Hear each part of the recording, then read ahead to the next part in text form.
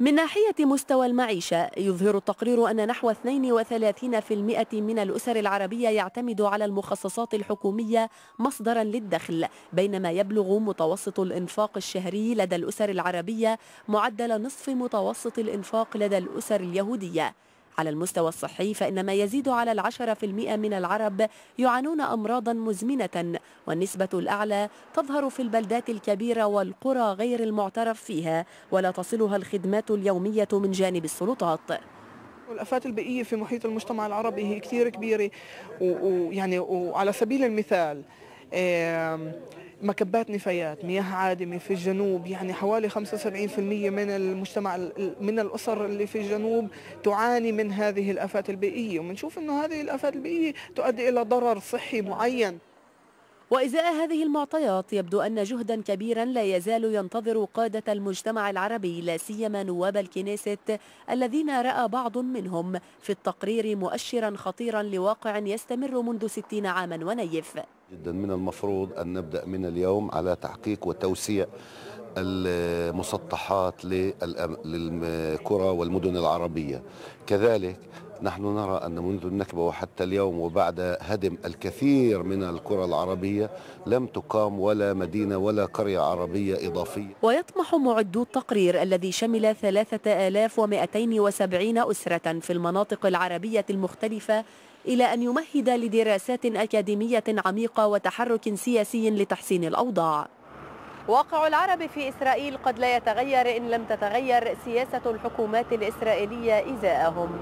والتوقعات للمرحلة المقبلة تنذر بما هو أسوأ لا سيما على صعيد قضايا البناء والمسكن والتعليم. شيرين يونس بي بي سي من محيط مدينة شفا عمر وللحديث عن هذا التقرير ينضم إلينا على الهواء مباشرة من الناصرة عبد السلام مصالحة رئيس جمعية الجليل للبحوث والخدمات الصحية وهي الجمعية التي قامت بعمل الدراسة السكانية. أولا ما هي الحقائق الجديدة التي يظهرها هذا التقرير؟ مساء الخير. مساء الخير. التقرير بيظهر حقائق جديدة اللي ما كانتش ظاهرة بالتقارير الرسمية الإسرائيلية اللي كانت تعمل من قبل مركز الإحصاء الإسرائيلي.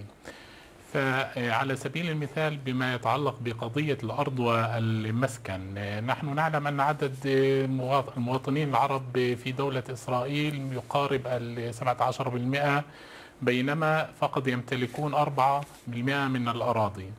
فهذا المؤشر يدل أن يدلنا أنه خلال السنوات المقبلة العشرة إيه، سيحتاج المواطنين العرب في البلاد إلى 150 ألف وحدة سكنية بينما في الظروف الراهنة الحالية لا توجد هذه الوحدات السكنية لا تتوفر.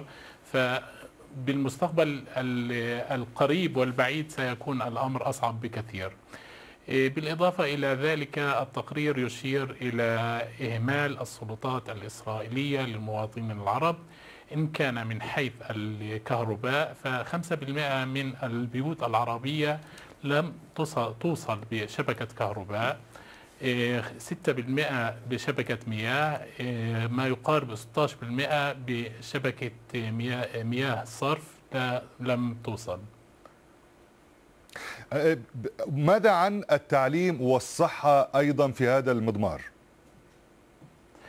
إيه، ذكر بالتقرير أنه ما يقارب من 10% من سكان العرب في البلاد يعانون من أمراض صحية مزمنة الأمراض الصحية هذه ترتبط ارتباطا مباشرا بالوضع الاقتصادي بالوضع الاجتماعي بالوضع التعليمي فالوضع الاقتصادي نحن نعلم أنه ما يقارب ال 65% من المواطنين العرب هم عاطلون عن العمل أنا أضيف إلى هذا المعطى النساء آه، في أغلب النساء العربيات لا يعملن آه، بالإضافة إلى ذلك ف 50% آه، من المواطنون العرب نعم. في البلاد يعيشون طيب. تحت خط الفقر فهذا يؤدي هذا مجتمعا بعضا يؤدي إلى مشاكل صحية طيب. وأمراض مزمنة. برأيك يعني كيف ستتعامل الحكومة الإسرائيلية مع هذا التقرير الذي أعدته جمعية عربية؟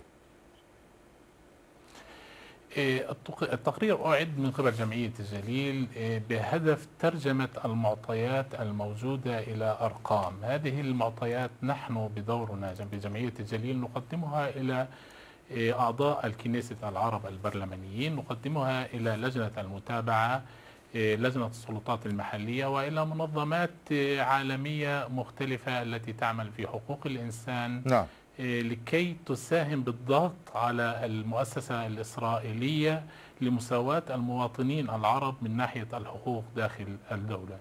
من الناصر عبد السلام مصالحة رئيس جمعية الجليل البحوث والخدمات الصحية وهي الجمعية التي قامت بعمل الدراسة السكانية. شكرا لك.